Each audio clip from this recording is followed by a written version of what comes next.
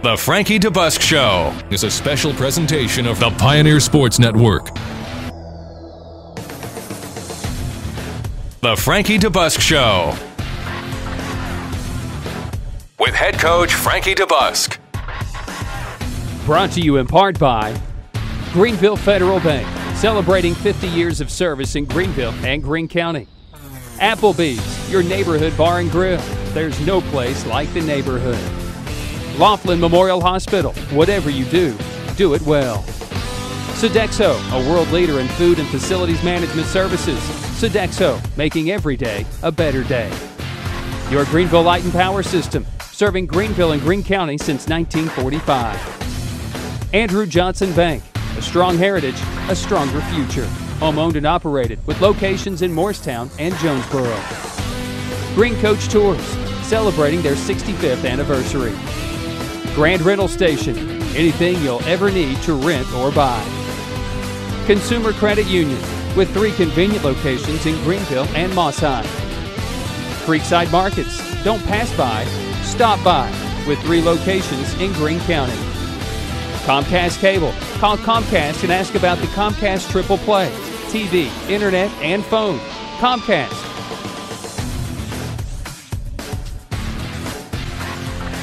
And now, the voice of the Pioneers, Brian Stayton. Welcome into another edition of the Frankie DeBusk Show. Tusculum versus the University of Findlay, the Findlay Oilers. A little history behind the city of Findlay, known as the Flag City. So pre-World War I, you couldn't really get a flag anywhere in the United States unless it came from Findlay, Ohio, whether it was a patch, whether it was a sticker, whether it was just a regular flag. It was also known for oil, thus the name the Findlay Oilers. Well, Findlay was started primarily Donnell Stadium by the Donnells. James Donnell had an idea. Let's make a stadium for all of our local schools, high schools, middle schools, and our college or university to be able to use on a regular basis. That idea became known in 1926. 1928, they dedicated the field, but James Donnell was not there as he had passed away. So his son, O.D. Donnell, who took over the Ohio Oil as the president, later known as Marathon, dedicated the stadium that said, the guy who thought of all of this isn't here, but it will be remembered forever. And 82 years later, they're still playing football at Donnell Stadium for the University of Findlay. On to the university itself. They're a four-time national champion at the NAIA level, 79, 92, 95, and 97, jumping to Division II in 2000 and joining the GLIAC, where Grand Valley State is from, a national contender year in and year out. It would be the first ever meeting for the University of Findlay against any South Atlantic Conference opponent. Hello again, everyone. I'm Brian Stayton. Enough history. On to the history from this past Saturday. We're joined by Pioneer coach Frankie DeBusk. A lot of unknowns on this trip, I believe, and the unknown was the University of Findlay. We knew they could run, but I didn't think you'd be able to stop them. An impressive Saturday for your team to win 16 to 3. Very, very proud of how our kids responded and played, Brian. We took a long trip with a lot, a lot of new faces, uh, a lot of young players making the first journey. Not only was it their first away game, but it was also a long way away. You know, it took us about eight and a half hours to get there. And Made a stop along the way that we'll discuss here in a minute that I thought our football team really handled very, very well, very mature. Uh, very proud of, of how we responded playing in a strange environment. Um, playing a team from the GLIAC, which is the first time in my career I've ever been that far north to play a football game. And, just excited uh, how everyone really responded from the opening kickoff to the very end of the game. And obviously our, our defensive football team just played phenomenal. Uh, offensively, we had 510 yards in total offense and only scored one touchdown, which is unusual, but we had some miscues along the way. But uh, from top to bottom, is very, very pleased with the effort and the, and the entire road trip, how everything was handled. The Tusculum Pioneers do win Game 2 of the 2010 season as they go to 2-0, and there's a little bit more history on that as well. And that we'll talk about when we come back, plus your first, second, third, and fourth quarter highlights when the Frankie DeBusk Show continues. Greeneville Federal Bank, proudly celebrating 50 years of service in Greeneville and Greene County. Greeneville Federal Bank is banking made easy. Visit online at greenvillefederalbank.com. The best deal in the neighborhood just got better with more to love on the 2 for 20 meal only at Applebee's. Applebee's is a proud sponsor of the Frankie DeBusk TV show and side of the Frankie DeBusk radio show. Applebee's on the bypass in Greeneville. There's no place like the neighborhood. Laughlin Memorial Hospital provides innovative, caring, compassionate service to their patients and the community through integrity and honesty in all that they do. Laughlin Memorial Hospital in Greeneville since 1939. Whatever you do, do it well. Your Greeneville Light and Power System, an electrical distributor of TVA, serving Greeneville and Greene County since 1945. Your Greeneville Light and Power is dedicated to excellence in service and reliability. Visit online at glps.net. Welcome back to the Frankie DeBusk Show. Tusculum versus the University of Findlay in the first ever meeting between the two schools. Tusculum wins 16 to 3. Let's take a look at the first quarter highlights brought to you by Greenville Federal Bank. The Tusculum Pioneers on the road, the sixth longest road trip and a stop off in Cincinnati. And who's this guy? Uh, a guy I used to coach years ago, Brian. Very, very proud of, of Terrell Owens and what he's accomplished, and just so thankful that the Cincinnati Bengals opened up their facility for our football team. And Terrell actually spoke to our bunch right there. You can see him uh, giving them a little uh, life lesson and talking about some of the things that, that I was able to do for him as he was growing up and coming through the University of Tennessee at Chattanooga, where I coached him. And uh, just very honored that, that the Bengals would allow our, our whole football team to go through their facility, practice on their at their stadium, uh, go in their locker room. Marvin Lewis, their head coach, actually spoke to our team, and he, he himself uh, set up the whole thing and, and uh, met us and, and talked to us, and just a phenomenal trip. Chad Ochocinco was also in attendance, and T.O. signed autographs with everybody and also um, handed out a lot of gloves from his locker, I can tell you that. Well, to the game.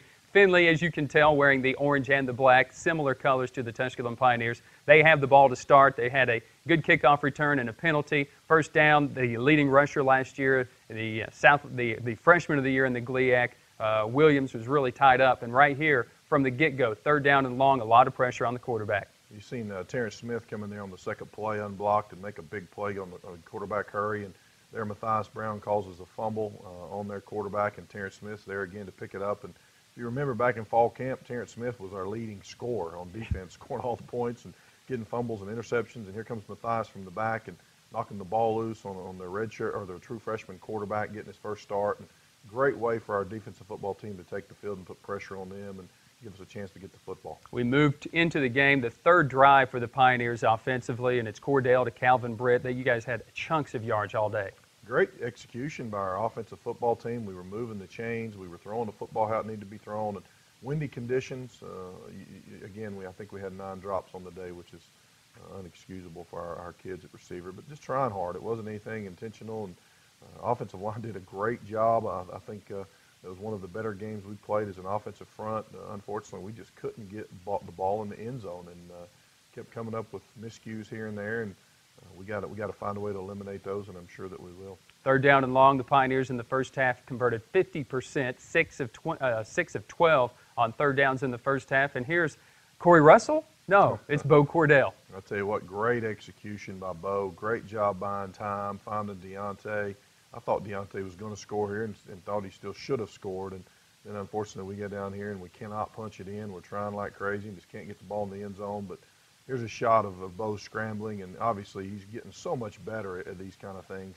Bo's not the best, uh, most talented athletically, but he's good enough to get it done for us. And hits Deontay a big, big third down here, and uh, Deontay gets it down to the one or the two yard line, and we get out there and we actually have an opening over here. And I think Brian, if he just stays a little to the left there, will score a touchdown. But they did a good job. They did a good job keeping us out of the end zone and preventing us from getting it in down there. And we end up having to kick a field goal. But I thought he was going to score here. Great tackle by their uh, linebacker flying out there on Marshall. And Brian Marshall gives it everything he's got. And he's not very big, but he gives it everything he's got. And uh, they do a good job covering our little pass route here. We have to send our kicker on the field and get three points. But great start by our offensive football team to have three points, and defensively we stop them, so we're feeling okay about things. Nine plays, 55 yards, obviously on first down and goal from about the two you'd like to score there. But again, Findlay, I think a good job tackling in the open field.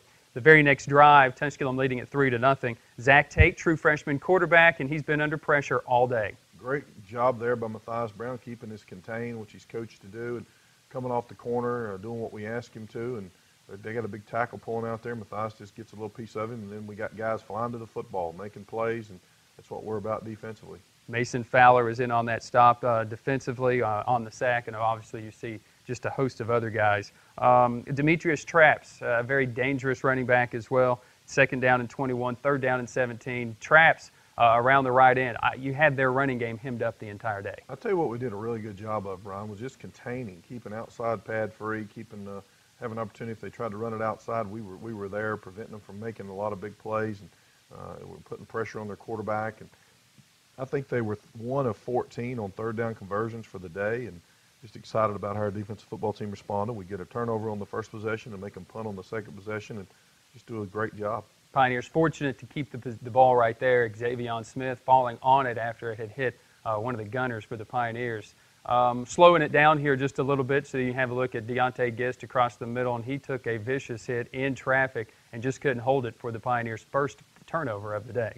Yeah, it was a, a good throw, and uh, Deontay just trying to get a little extra yardage there. He's got to protect the football better, and uh, we, we, sure can't give him the ball, but uh, our defensive takes the field, and that's Rashawn Harris from over in Gaffney, South Carolina, coming up at free safety, making a play on their good running back. And up front, I thought our kids just played so hard. And, you know, right here it looks like they're going to get a bunch, and we end up uh, getting him on the ground and, and not giving them a lot. Uh, third and short, feeling good about what we're trying to get accomplished. And uh, our kids just uh, flying around. I think they actually jumped off sides and mm-hmm. back it up for five and uh, just playing hard. Yeah, third down and a yard. And Findlay early, I think, shot themselves in the in the foot, but it creates a third down and six for Zach Tate. And again, it was just this type of day. Just he, as a true freshman, I'm sure you probably anticipated a little bit of that, but was put under pressure all day long. And then you start the very first play from the second quarter, and they tried the little quick kick, and David Little gets in on that. Well, David Little got the sack the play before on Zach Tate, and then David Little here, uh, they fly in there, and uh, they're trying to set up a quick kick by the quarterback, and David gets the pressure on him and blocks the kick, and if he could scoop and score, we'd have points right now. But uh, unfortunately, we weren't able to do that. But great effort by our defensive football team. End of the first quarter, the Tusculum Pioneers have the lead. Back with much more, the Frankie DeBusk Show, right after this.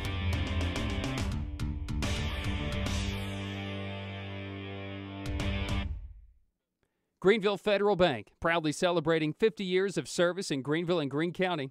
Greeneville Federal Bank is banking made easy. Visit online at greenvillefederalbank.com. The best deal in the neighborhood just got better with more to love on the 2 for 20 meal only at Applebee's. Applebee's is a proud sponsor of the Frankie DeBusk TV show and side of the Frankie DeBusk radio show. Applebee's on the bypass in Greeneville. There's no place like the neighborhood. Laughlin Memorial Hospital provides innovative, caring, compassionate service to their patients and the community through integrity and honesty in all that they do. Laughlin Memorial Hospital in Greeneville since 1939. Whatever you do, do it well. Your Greeneville Light and Power System, an electrical distributor of TVA, serving Greeneville and Greene County since 1945. Your Greeneville Light and Power is dedicated to excellence in service and reliability. Visit online at glps.net. Welcome back to the Frankie DeBusk Show, the Tusculum Pioneers versus the University of Findlay. Tusculum has the early lead, but let's take a look at your second quarter highlights. Your second quarter highlights brought to you by Sodexo.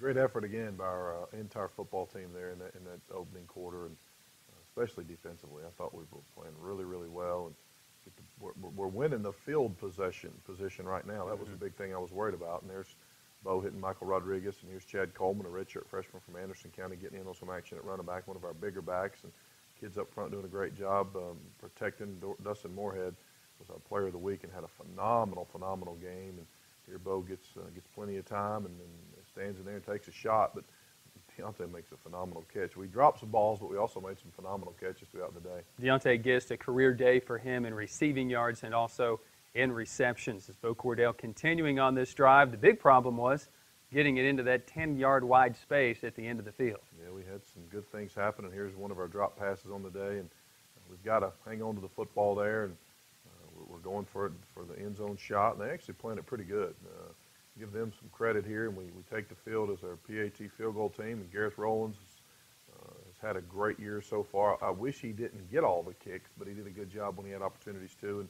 and the wind was blowing. It was 25 mile an hour. You see the coaches on the sideline all bundled up, and it was the upper 50s, low 60s temperature there when we got started with 25 mile an hour winds and different environment for our football team. And we here we, we don't do a very good job tackling on our kickoff team. And you've got to get better on that.